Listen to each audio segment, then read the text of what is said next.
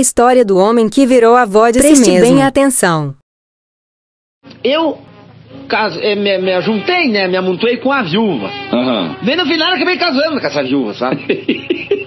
e o meu pai, ele se apaixonou-se pela filha da viúva. Ah. E ele também casou com ela, sabe? Mas olha, mas daí deu uma confusão do tamanho do Foi aí que começou a Pelo amor daí- de Deus, meu. Ó, veja bem, Ah, a filha da minha esposa, no caso, tá. Que casou com meu pai, Aham. agora é minha madrasta. Não, não, pera, pera, pera aí. Então, ela casou com teu pai É. e... A filha da minha mulher Aham. casou com meu pai. Então, agora, ela é minha madrasta. Ela é tua madras- madrasta. Ao mesmo tempo que eu casei com a mãe, Hum. a filha dela também é minha filha, Ah, é verdade. né? Tem, tem então lógica. ela é minha madrasta e minha filha ao mesmo tempo. Tem lógica, tem lógica. E aí? Daí o meu pai, Hum. meu pai virou, virou gerro da minha esposa. Agora, agora estabeleceu o o teu. Pa- Não, pera lá. O teu pai virou genro É, da, da tua esposa. da minha mulher. Nossa senhora.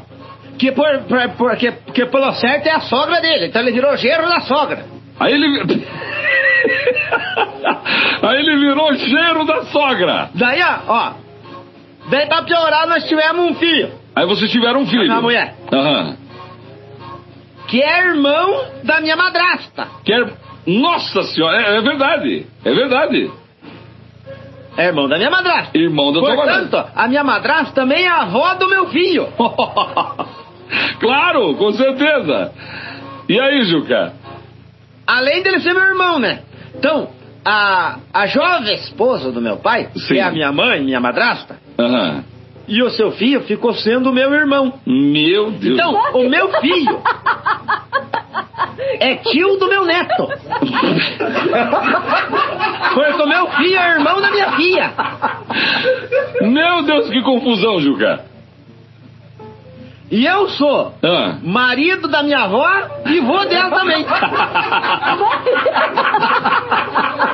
Não, você é marido da tua avó? Então, assim, ó. E vô dela também. Ah, tá. Agora veja só, eu sou avô do meu irmão. Aham. Mas como o avô do meu irmão também é o meu avô, Sim. eu virei avô de mim mesmo. Meu Deus! Eu trago a benção pro espelho. Ah. Eu trago a benção pro espelho. Quer dizer que você pede bênção pro